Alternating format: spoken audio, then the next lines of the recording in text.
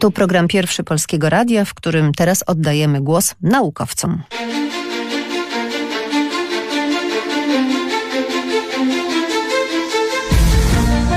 Eureka.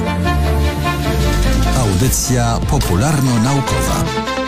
Katarzyna Kobylecka, witam Państwa i zapraszam na dwie egzotyczne wyprawy archeologiczne. Najpierw odwiedzimy Indię, gdzie polscy specjaliści rozpoczynają właśnie nowy projekt badawczy, a potem przeniesiemy się do Ameryki Południowej, do Peru, by nieco bliżej przyjrzeć się świętej górze Inków Koropunie. Program pierwszy Polskiego Radia. Przyznam, że niezwykle rzadko tematyka indyjska gości w Eurece, bo jak dotąd nie było w tym kraju żadnej polskiej misji archeologicznej. Ale to się, proszę Państwa, właśnie zmienia za sprawą umowy między Instytutem Kultur Śródziemnomorskich i Orientalnych Polskiej Akademii Nauk, a instytucją badawczą o akronimie PAMA w Kerali w Indiach. Szczegóły zna dr Marek Woźniak, dyrektor polskiej części projektu. Dzień dobry. Dzień dobry Państwu.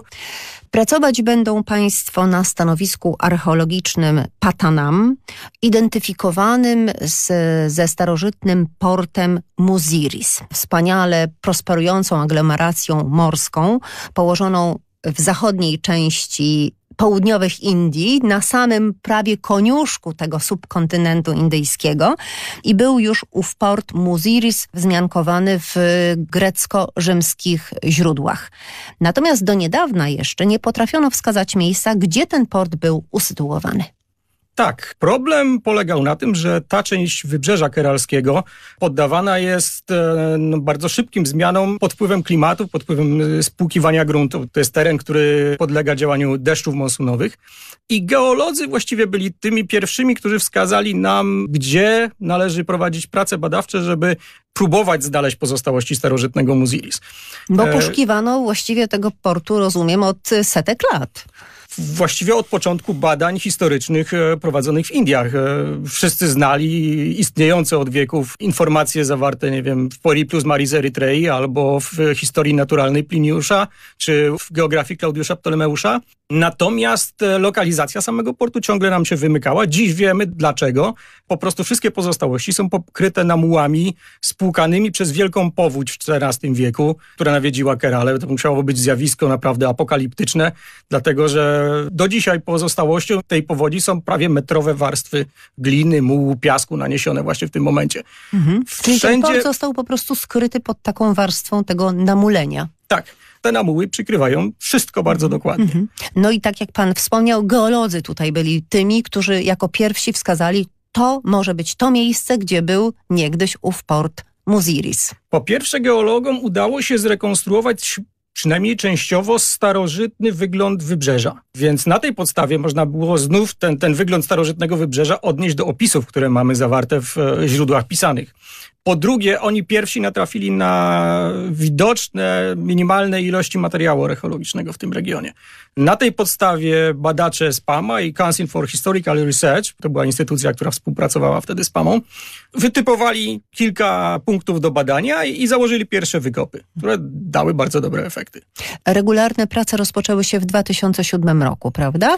Chociaż y, znalazłam też taką informację, że archeolodzy, którzy y, wkroczyli na ten teren, też y, dysponowali relacjami osób y, no, starszych pewnie, zamieszkujących y, tę miejscowość, że przy ulewnych deszczach czasem pojawiały się na powierzchni a to fragmenty jakiejś ceramiki, a to drobne paciorki szklane, więc była jakaś podpowiedź, że coś rzeczywiście w tym miejscu Pierwszą musi być. Pierwszą rzeczą, którą powinno się zrobić właśnie w miejscu, gdzie spodziewamy się nowego stanowiska archeologicznego, są rozmowy ze starszymi mieszkańcami, w ogóle z mieszkańcami takiego terenu, dlatego, że oni obserwują najlepiej to, co mogą znaleźć na co dzień, oni tam żyją i wskażą miejsca, gdzie na przykład te namuły są naj najcieńsze i właśnie są zmywane do dzisiaj przez deszcze i, i odsłaniają te minimalne nawet pozostałości materiału archeologicznego. Nie wszyscy naukowcy tutaj, powiedzmy szczerze, panie doktorze, zgadzają się, że Patanam to starożytne Muziris. Są jeszcze głosy odrębne, ale w takim razie przedstawmy te dowody na to, że rzeczywiście mógł być to ten starożytny port. Tak, faktycznie w nauce tak jest, że pewnie będzie to zawsze kwestią sporną, aż do czasu znalezienia, nie wiem, inskrypcji, która nam powie na pewno tu było Muziris. E, jest jeszcze kilka lokalizacji potencjalnych w okolicy. E, natomiast e, z samych opisów wybrzeża już wynika, gdzie ten punkt mógł się znajdować. Natomiast e, my mamy całą masę w tej chwili, ponad 40 tysięcy kawałków ceramiki, z których jakieś 10% to jest ceramika importowana, pochodząca ze Śródziemnomorza, z regionu Morza Czerwonego, nawet z Italii i Azji Mniejszej. Co e, świadczyłoby o tych kontaktach tak, o tych kontaktach, handlowych. które są opisywane w źródłach starożytnych. To są pozostałości przede wszystkim pojemników e, na towary, które Rzymianie przywozili do Muziris w celu wymiany na lokalne towary. Przywozili przede wszystkim wino, ekskluzywne e, szkło, które tam było bardzo cenione, a poszukiwali no, przede wszystkim przypraw, ale z tamtych regionów sprowadzano też na przykład tkaniny, półszlachetne kamienie i szlachetne kamienie. Także ta wymiana była bardzo intensywna. No ale chyba najbardziej poszukiwaną i naj, najcenniejszym dobrem, które stamtąd sprowadzano, był pieprz. Zachował się kontrakt dla statku płynącego właśnie do, do Muziris, ogromnego jak na tamte czasy statku. To był statek, który miał przywieźć około 650 ton towarów stamtąd. To jest dla porównania, to mniej więcej jest wielkość statków Vasco da Gamy, największych statków Vasco da Gamy. To był statek specjalnie przygotowany, specjalnie zbudowany do transportu takich ilości towarów z tamtych regionów w okresie mhm. rzymskim. I jest wyszczególniona lista, co miał zabrać. E, miał zabrać właśnie przede wszystkim pieprz, ale miał zabrać jeszcze malabatrum. E, dzisiaj bardzo popularna przyprawa w kuchni indyjskiej. To są liście cynamonowca najprawdopodobniej. E, miał zabrać kość słoniową, miał zabrać trochę kamieni półszlachetnych. A czy wiemy, czy ten statek dotarł do Rzymu? Nie wiemy, czy dotarł do Rzymu, natomiast yy, bardzo prawdopodobne, nie ma bardzo wielu informacji o, o tych statkach, które przepadały, ale oczywiście takie rzeczy się zdarzały. Jeszcze postawmy kropkę nad i, bo pytałam o te dowody na to, że pata nam to starożytne Muziris. Y, to wymieńmy chociaż to, co znaleziono w czasie wykopalisk i co świadczyłoby właśnie o tych kontaktach handlowych. Więc Przede wszystkim bardzo dużą ilość amfor z e, regionu śródziemnomorskiego, z Egiptu, z e, wysp greckich. Dużą ilość rzymskiego szkła, które jest bardzo charakterystyczne i między innymi na moim stanowisku, na którym pracowałem, pracuję w Berenikę, dokładnie te same rodzaje szkła mamy. Zresztą Berenikę było portem na drugim końcu tego samego szlaku. Z Berenikę wypływały statki, które dopływały do Muziris. Mhm, to jeszcze dodam, Berenikę położona jest nad Morzem Czerwonym. Tak.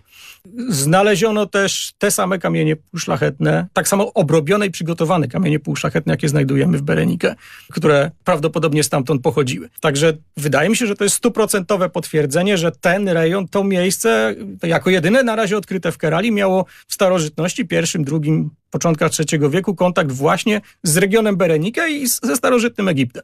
Tutaj jeszcze dodam, bo może nie wszyscy słuchacze wiedzą, Berenika było egipskim portem, jak powiedziałam, nad Morzem Czerwonym, ale już umacnianym czy rozwijanym przez Rzymian tak, w czasie, kiedy Egipt był pod tak, ich panowaniem. Egipt razem z, Berenika razem z całym Egiptem e, było pod władzą rzymską w tym momencie i stanowiło najbardziej na południowy wschód wysunięty port rzymskiego imperium. Umowa między polskimi a hinduskimi specjalistami jest już podpisana. Pierwszy sezon wykopaliskowy planują Państwo za kilka miesięcy. Zimą, prawda, przyszłego roku, bo wtedy są najlepsze warunki klimatyczne.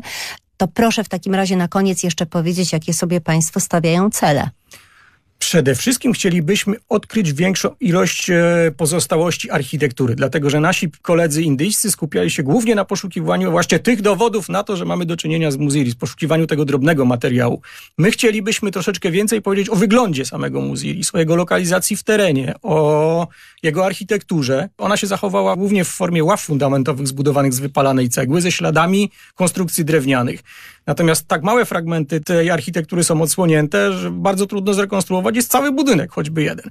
To będzie nasz pierwszy i najważniejszy cel. Myślę, że z samego planu, z tego co znajdziemy wewnątrz tego budynku, będziemy mogli dużo powiedzieć na temat życia w tym starożytnym porcie.